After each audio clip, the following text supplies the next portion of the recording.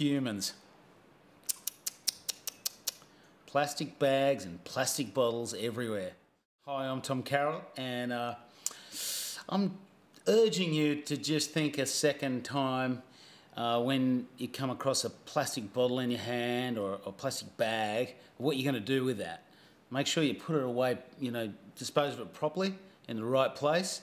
Also, maybe think again and, and use uh, um, a stainless steel bottle for, for water, especially. Because the less plastic bottles in this world, the better. The better for uh, Mother Nature. We've got to have her around us, otherwise we die. We're a part of Mother Nature. Go with the flow. Go with the stainless steel.